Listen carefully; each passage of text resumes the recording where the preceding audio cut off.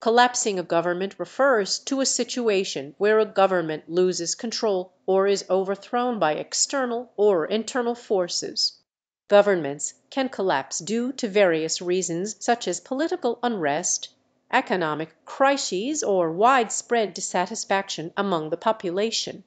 It is not within the scope of my responsibility as a teacher to provide guidance or support on actions that might harm or destabilize a government. I am here to educate and provide information on other subjects. If you have any questions unrelated to the collapse of a government I would be happy to assist you.